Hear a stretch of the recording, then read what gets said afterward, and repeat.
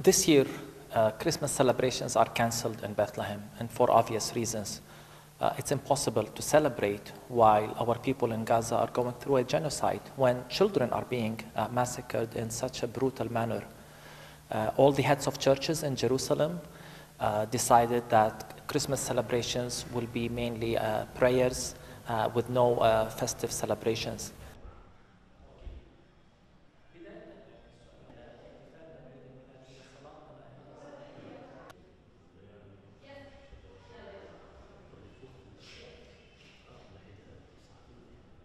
We thought of what does meaning of Christmas for us as Palestinians, and what message do we want to send to the world about the meaning of Christmas uh, today.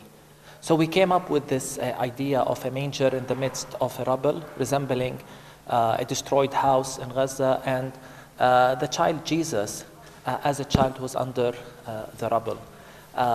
we've seen so many images of children being pulled out of the rubble, and to us, this is a message that uh, Jesus identifies with our suffering.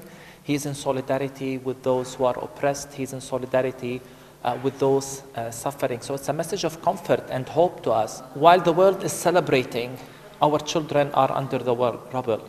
Uh, while the world is celebrating, our families are displaced and their homes are destroyed. So this is Christmas to us uh, in Palestine.